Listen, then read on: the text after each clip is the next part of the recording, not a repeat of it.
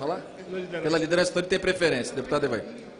Senhor presidente, senhoras e senhores deputados, hoje, com a presença de boa parte da bancada capixaba, senadora Rose de Freitas, mais boa parte dos deputados, na presença do ministro do Transporte, Maurício Quintela, foi dada a ordem de serviço para o início da tão sonhada e desejada duplicação da BR-262 no trecho do Espírito Santo. Uma obra que há muitos anos é prometida, uma obra que há muitos anos é esperada, e é óbvio que todos nós estamos, de certa forma, com o pé atrás, dado ao longo caminho percorrido para que esse dia de hoje chegasse. É preciso, e eu assumi como ministro o compromisso, de relatar passo a passo, contar a verdade, conversar com os capixabas, para que assim possamos acompanhar e ter uma visão do tempo real da obra.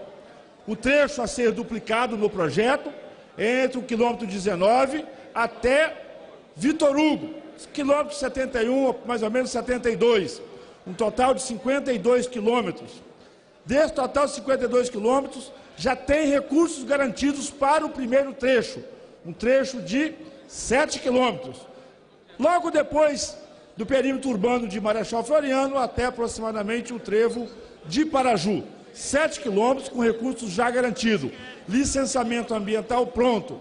A empresa que estava presente assumiu o compromisso de. Ela vai ter entre. Ela falou 90 dias, mas ela acha que entre 60 e 90 dias o pátio de obras já está pronto. O pátio de obra vai ser instalado no trevo de Paraju e a partir daí, então, ela vai dar início na efetivação para construir a obra. A expectativa da empresa é que essa obra tenha um período, falou de seis meses, mas considerando que final do ano vão vir as nossas chuvas, isso pode atrasar um pouco mais. A empresa tem um compromisso de ali, final de agosto, final de julho para agosto, fazer a entrega dos primeiros sete quilômetros.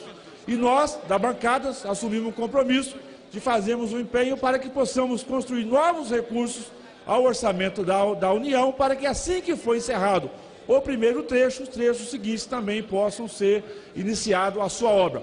Na oportunidade, relevamos, tratamos com o ministro para que possa ser feita a operação tapa-buraco emergencial em todo o trecho da BR-262 do Espírito Santo e também o recapeamento entre Vitor Hugo até a divisa a, de Pequiá, divisa com Minas Gerais. E assim possamos ter uma pista decente, segura, para que possamos, primeiro, preservar vidas e depois criarmos um ambiente de negócio no turismo, no agroturismo, turismo de praia, muito usado essa rodovia pelos mineiros e pelos goianos, e assim o Espírito Santo possa ter uma rodovia decente e digna de um povo honrado e trabalhador. Muito obrigado, senhor presidente.